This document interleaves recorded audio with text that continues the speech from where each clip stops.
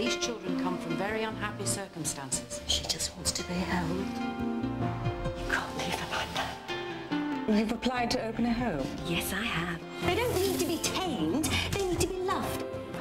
These are children in care who, in a perfect world, should go back to their parents. Sarah Lancashire in the drama premiere Seeing Red, coming soon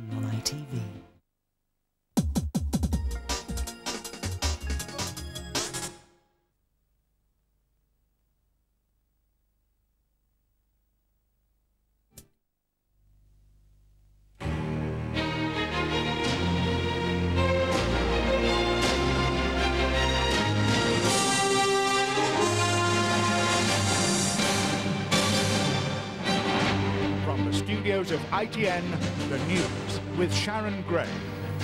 Good morning. The headlines. Blair announces new war on drugs. 80 dead in mine explosion in the Ukraine. And Michael Schumacher wins the Australian Grand Prix. Police and the courts are to benefit from tough new legislation to win the war on drugs. Tony Blair says stronger powers to confiscate dealers' assets will form part of a hard-hitting bill in next year's Queen's speech. Those convicted could have their passports removed while there'll be tighter regulation of club bouncers and greater help to treat addicts. Here's Tim Nielsen. The Prime Minister announced the new initiatives on his way back from yesterday's trip to Russia. He told reporters, we have got to crack down very, very hard on the drugs industry. Parents are petrified about drugs. Problem as big as this needs radical thinking and action. Police and the courts are to be given tough new powers in a hard-hitting drugs bill in next year's Queen's speech. They'll include the power to confiscate drug dealers' assets. According to Downing Street insiders, mansions owned by drug dealers could be seized if they cannot prove how they legally acquired the property. Anyone convicted of drug offences will be liable to have their passport withdrawn. Suspected drug dealing by bouncers in nightclubs will also be targeted. In particular, there will be tougher regulation of bouncers and greater help for rehabilitation and treatment of addicts. The Prime Minister will also reappoint the drug czar, Keith Hellawell, for another three-year term. The crackdown came in the wake of the Prime Minister's shock that nearly 300 people die in Scotland from drugs each year. Tim Nielsen, ITN.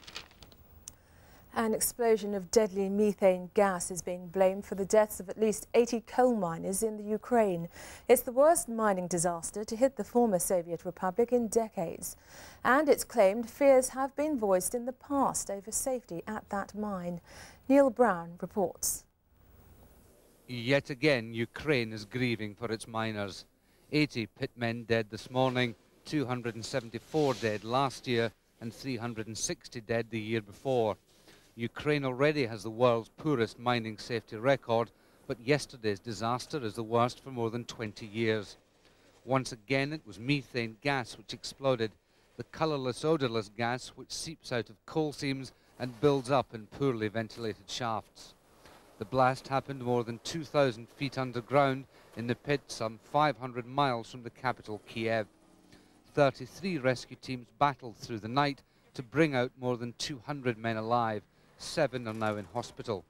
Ukraine's mining equipment is outdated and frequently malfunctions. Its miners battle to obey safety rules. The industry is underfunded by the government and safety concerns have low priority. This morning, the President, Leonid Kuchma, and Premier Yushchenko have both cancelled foreign trips to take charge of the investigation. Another 48 miners have already died in pit accidents in Ukraine this year. Neil Brown, ITN. Tony Blair has flown home after his first private meeting with Russia's Vladimir Putin. He warned the acting president over alleged human rights abuses during the conflict in Chechnya. But Mr. Putin remained keen to extend a warm welcome. Mr. Blair is the first Western leader to visit him since he came to power. Our Moscow correspondent Mark Webster reports. Together with the Blairs at the opera, Russia's acting president and his wife were clearly on the campaign trail. With presidential elections only two weeks away, the image Mr. Putin wanted to project was of two dynamic statesmen establishing a new understanding. Yet in talks at a former royal palace near St. Petersburg, they clashed over the issue of alleged Russian atrocities in the Chechen War. However, when I asked both leaders in public about the timing of the visit, they tried to minimize their differences. Isn't the timing of your visit going to send the wrong signal to the international community about your concern for human rights abuses and encourage you, Mr. Acting President, to carry on the sort of policies that some of us have witnessed for ourselves in Chechnya?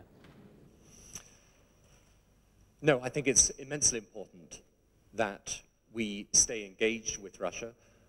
Where we have disagreements, we make them clear. I have made it very plain myself that it is important that any human rights violations are properly investigated and that there is proper access for all the international organizations. For me personally and for the Russian leadership, Mr. Putin said, it's important to understand his concerns about human rights in Chechnya and, if necessary, to make adjustments. Later, when the two couples arrived at another royal palace, nothing was allowed to disturb the image of the hitherto rather colourless Mr. Putin, mixing easily with other world leaders. A marked contrast to the erratic and often embarrassing behaviour of his predecessor, Mr. Yeltsin. As Mrs. Putin took Mrs. Blair, whose baby is due on May the 24th, to a child creativity centre, electioneering in Russia took on a decidedly Western look. Coming at such a sensitive time, this visit has clearly been a calculated gamble by Mr. Blair. However, the British government seems to believe that whatever criticism it might receive for coming here now will be outweighed if the visit does lead to the establishment of a lasting and stable relationship with a former superpower. Mark Webster, ITN, St. Petersburg. Chile's Ricardo Lagos has become the nation's first socialist leader since Salvador Allende was ousted by former dictator Augusto Pinochet in a violent coup in 1973. More than 50 world leaders attended the swearing-in ceremony. The main figure absent at the ceremony was Pinochet, who returned to Chile a week ago after Britain decided he was too ill to be sent to Spain to face a trial on torture charges. Many Chileans carried banners calling for Pinochet to be put on trial. Socialist supporters are now enjoying a two-day street party. Sport now, first motor racing and Michael Schumacher of Germany won the Australian Grand Prix in Melbourne for the first time. There was huge satisfaction in the way the 20-year-old British driver Jenson Button drove. At one stage he was in fourth place before mechanical problems caused him to withdraw. Here's Nick Qureshi. This year's Formula One Drivers' Championship season got off to a flying start in near perfect conditions in Melbourne. Last year's champion Mika Hakkinen first into the opening bend. Britain's Johnny Herbert began his campaign badly, packing up on the first lap. And his Jaguar teammate completed a disastrous opening Grand Prix for the new outfit, with Ulsterman Eddie Irvine going out after a collision. Next of the British contingent to fall was David Coulthard, out with an engine fire after lying second. So it looked as though it was going to be Mika Hakkinen's race. He had a comfortable 30-second lead over Michael Schumacher until his Mercedes engine forced him out of the race on lap 19. Schumacher, who'd never won in Australia in nine attempts, increased his lead at the midway point to a massive 24 seconds over Heinz Harald Frentzen, who was to retire soon after. Meanwhile, Britain's 20-year-old Jenson Button had quietly driven through the field and now found himself in fourth spot. Remember, this was his first Grand Prix and he'd started from the back row. It was a brilliant debut, but it wasn't to last. Eventually, with 11 laps left, he too was forced out with a mechanical failure. Schumacher in his Ferrari duly completed the race to win and take the full 10 championship points. Rubens Barrichello in his first race for Ferrari was second, and Ralf Schumacher driving a BMW Williams was third. 16 races to go. Nick Qureshi, ITN. Prince Naseem Hamed's celebrating a convincing win to retain his world featherweight title.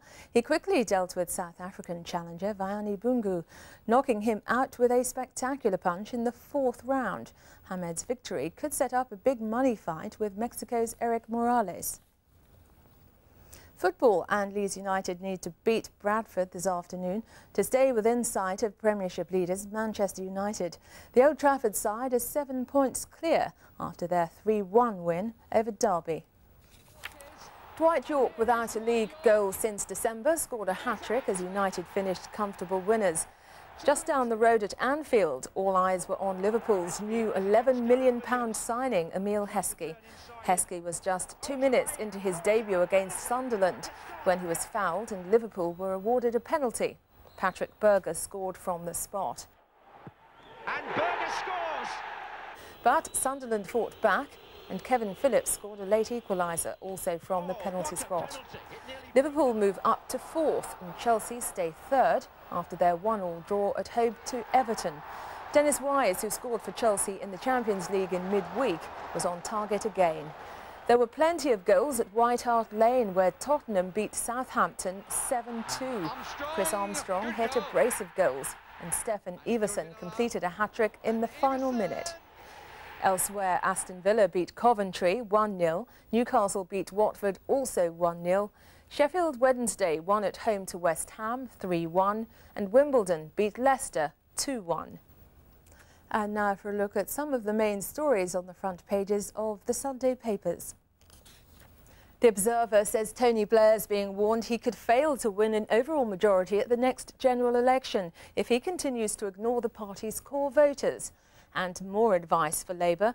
Party strategists say Frank Dobson should shave off his beard if he wants to win the election for London Mayor, because men with beards are considered untrustworthy. The Sunday Telegraph says David Blunkett has abandoned his fight against grammar schools, claiming that campaign was part of a past agenda. This comes after the result at Ripon Grammar School last week, where parents voted to retain the selection process.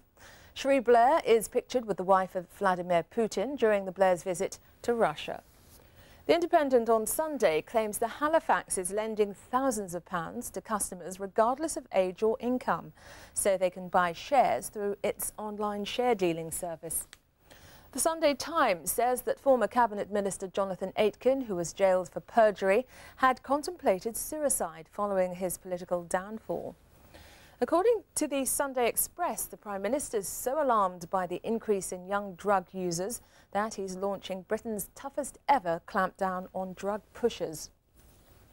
The Mail on Sunday says a Labour minister let slip at a meeting in America that Tony Blair plans to hold a general election on May the 3rd next year.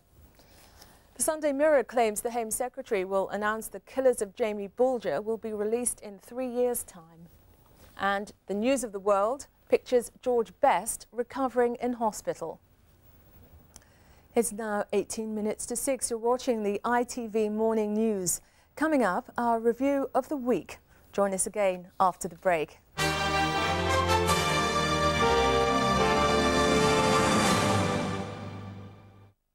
Dear Burtons, I have always been more than satisfied with your products. However, upon opening a Viscount bar today, I found not cool mint cream, chocolate and biscuit, but a, a Rollins rapid fire stapler, yes, yes, and a mitten. I am returning the offending items and look forward to receiving compensation, underlined, for the distress this has caused.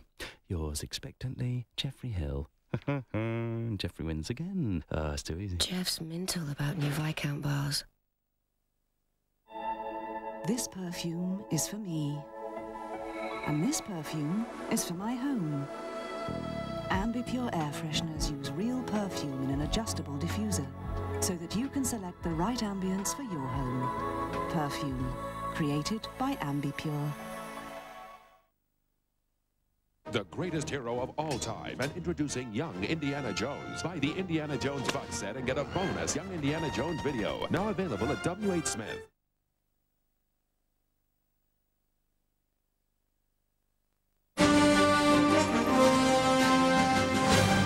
Welcome back to the ITV Morning News. Today's top story. Police and the courts are to benefit from tough new legislation to win the war on drugs. Tony Blair says stronger powers to confiscate dealers' assets will form part of a hard-hitting bill in next year's Queen's speech. And now our look back at how ITN covered the week's news. On Monday, RAF helicopters finally joined the aid effort in Mozambique delivering food and flying their first rescue missions. It came as weather reports suggested the country was about to have fresh downpours of rain. ITN's Mark Austin joined the RAF flight crews as they started work. A British search and rescue helicopter scouring from the sky the flooded villages of the Limpopo. Suddenly they receive a call that hundreds of people are marooned in one village where there's little food and no fresh water. Within minutes, the Royal Air Force crews here are carrying out their first rescues of this crisis. These are people who thought they'd been abandoned. This was their chance to get out, and they were determined to take it. This young boy's parents are apparently stranded by the floods in another village. They will not know yet that he has survived.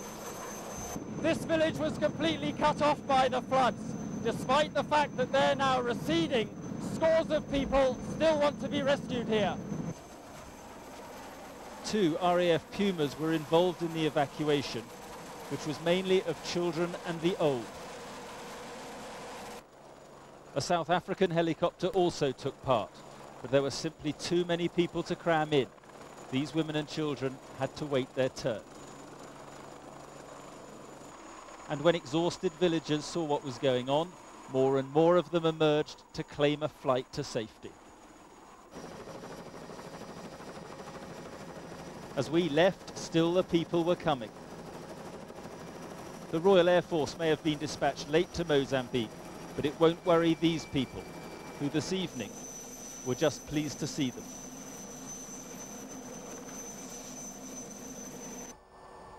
Earlier, we joined one RAF crew delivering emergency supplies to stricken villages. Food for people who want to stay put now the floods are receding. In some villages, it was aid they didn't expect, but were nevertheless delighted to receive. I mean, you saw it yourself. They want the food and we're delivering it, so it's, it's good work. Feeling better. Several days on, there is still great suffering here but by the hour more outside assistance arrives. It is the RAF giving a much awaited helping hand. Mark Austin, ITN, southern Mozambique. Also in Mozambique, aid workers are getting to grips with a heartbreaking legacy of the floods. As our Africa correspondent Tim Ewart reported on Tuesday, the tragedy of the children who became separated from their parents. In a small town in Mozambique, they are organising an identity parade. For 11-year-old Marcos Antonio, it's yet another harrowing experience. He is one of Mozambique's lost children. There are 100 of them here in Save alone, and at least 50 more nearby. As floodwaters destroyed their homes, they were separated from their parents in the scramble for safety. Now, a British aid worker is organising the effort to reunite the children with their families. Polaroid photographs will be shown around refugee camps. Even if immediate parents are dead, um, died during the cyclone, the floods, we should find another family member for the child to go and live with. So a lot of these children don't know whether their parents are dead or alive? No, they don't. And sometimes the parents sent the children for their own safety, and sometimes they were split up as they were fleeing or, or you know, with the water, in the water. Angelina Victorino, who's 11, is too nervous and shocked to talk, but it's believed her mother is alive. Ah, the mother doesn't know that the child is here, of which maybe probably she's very worried.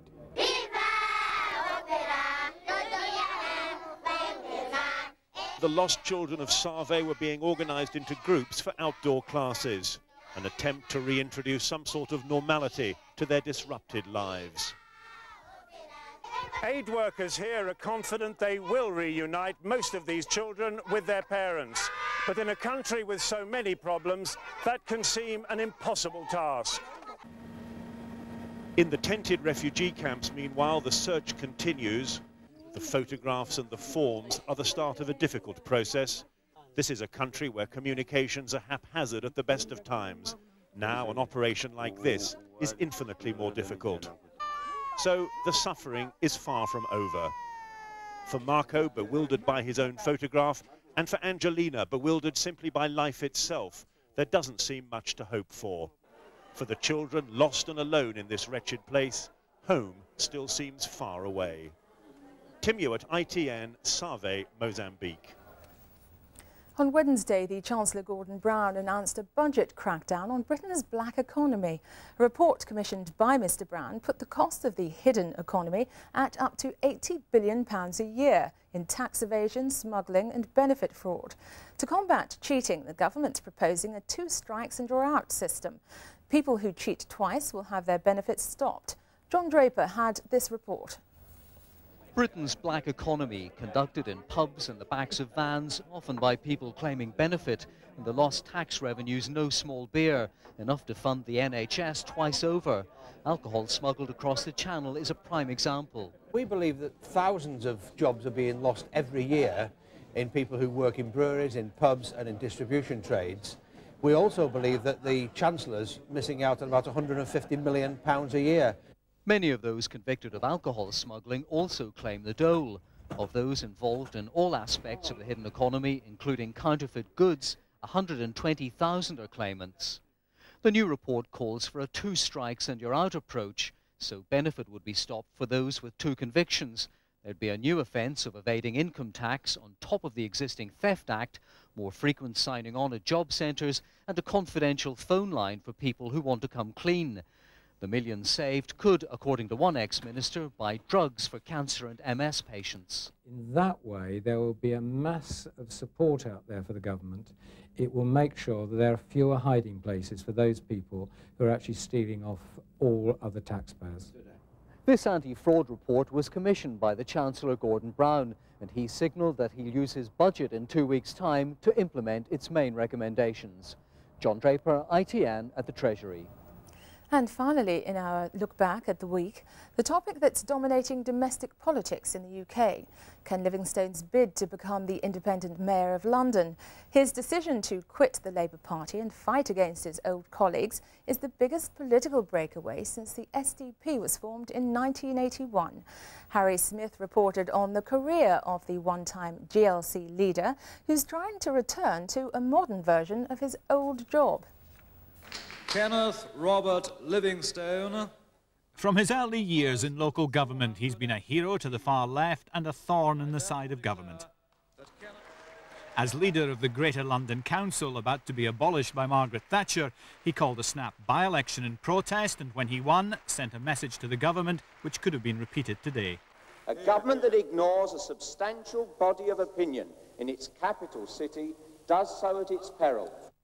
He's a Londoner born and bred, with a childhood spent in Streatham. He now says he'd never want to live in any other city. His garden is dominated by a pond he built himself and stocked with his treasured collection of frogs. His biographer says he's a loner both in his private and his political life.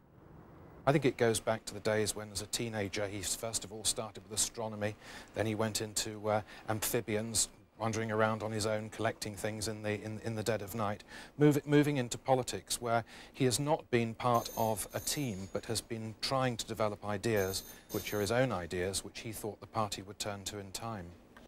There's no doubt some of his ideas have been popular, such as cheap fares on the underground. But others, such as public support for Sinn Féin at the height of the Troubles, were widely condemned. I think this is uh, why the uh, Blairites think that he, he's a loose cannon, too much of his own man and not able to cooperate. But his supporters say he has the rare knack of being able to talk directly to the voters. If he has, the last message he sent them from County Hall may yet prove to be prophetic. Harry Smith, ITN.